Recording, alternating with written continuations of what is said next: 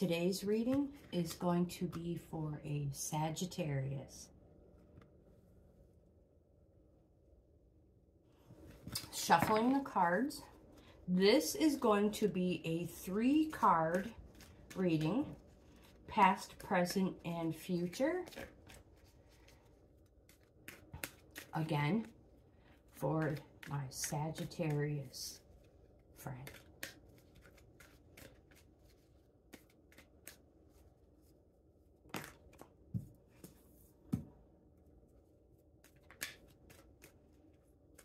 And two, three. Can you see these? Of course you can. All right. Let's see what they have to say.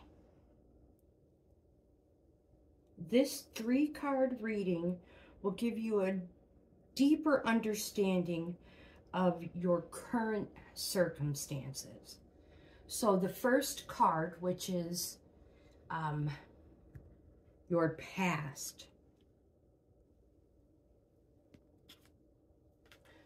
Free spirit.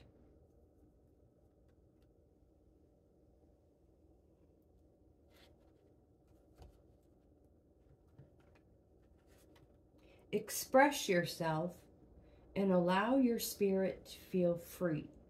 Be aware of the confines and restrictions placed upon you by yourself and others.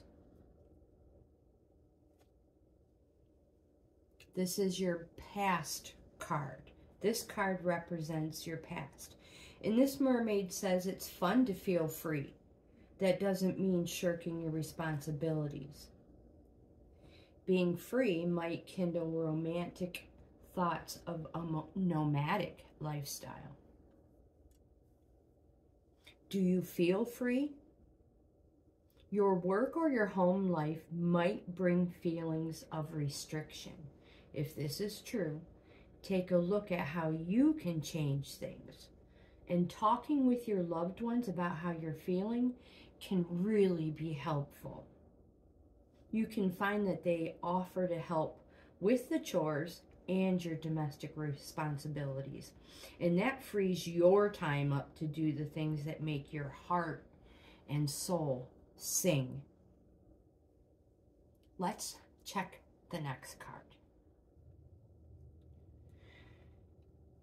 Card in position two.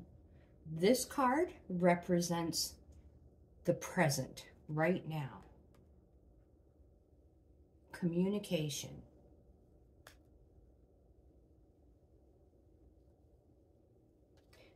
Pick up your phone and make that call.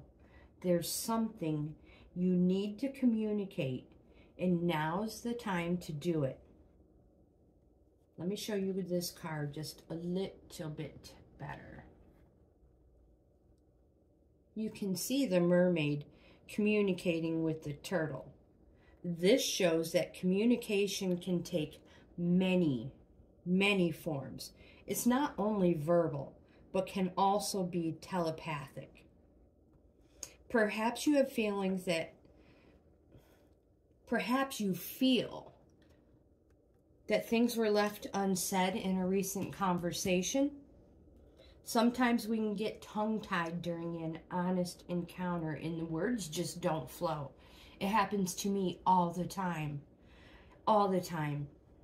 And if this is the case, you can write a letter or an email or even a text.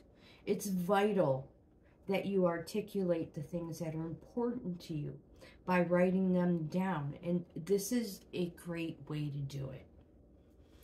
Then you can choose whether or not to send these emails or texts or just to get rid of them.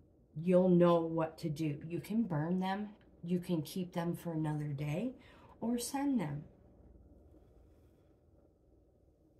This mermaid is also saying you could be called to mediate between someone else's communications to ensure that both sides are heard. And it could be time it could be time to become, uh, consider becoming a counselor. or maybe you act or maybe you have something you need to get off your chest. There's a lot in the communication card, and it could be all of it. It really can. Let's check card in position three. Hope. I love the hope card.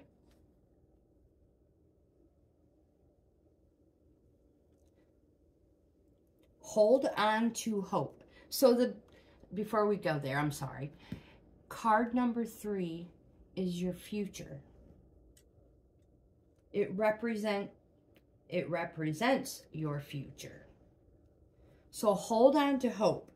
When things feel hopeless, change your outlook to feeling hopeful. Trust in trust in the magical flow of life and love. Now let's look at this card. This mermaid can't see the sun shining behind her through the clouds or the vibrant rainbow. She's totally absorbed in her own world. All she needs to do is look behind her and she'll see the symbols of hope all around her. Can you relate to her situation? While it's important to acknowledge any pain and perhaps fear of the future, combined with the feeling that hope is lost, it's equally important not to harbor these feelings for too long. Release them, knowing in your heart that hope can and will return again. And although it might feel like it, you're not at the mercy of your feelings and any any external circumstances. Each and every situation can be turned around so that so that you can recognize and nurture feelings of hope. Simply looking at things from another perspective can literally shine a new light on your life and bring hope to the forefront once again.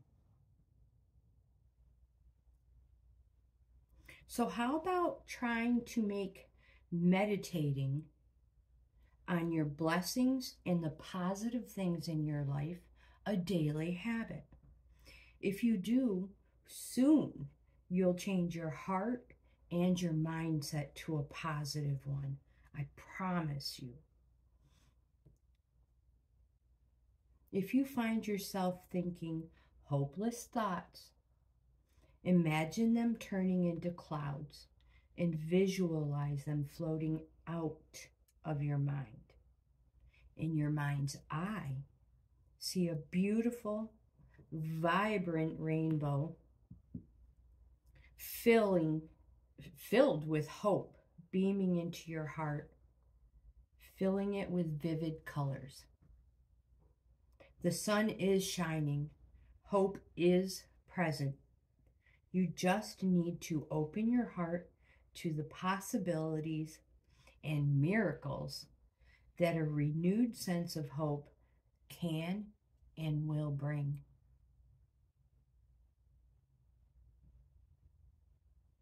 So, my Sagittarius friend, there now is the time to allow your free spirit, that one from your past, to emerge.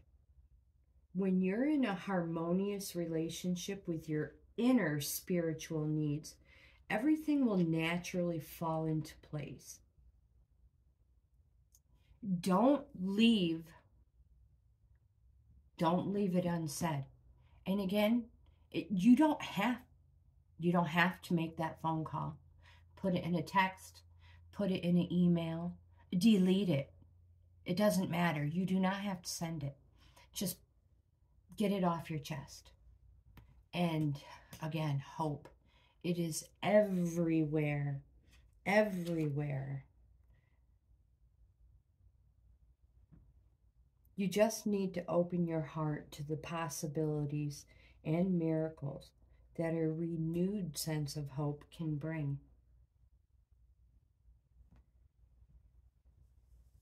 So, my friend, I hope you like this reading. And if you do, please give it a thumbs up. Like, comment, subscribe, share. You guys have the best day ever. And um, if you would like a reading, three card reading of your own, uh, send me an email. I will leave a link in the description box below or get a hold of me in the comments. I will totally get back to you with that. You guys have the best day ever, and I will see you in the next video.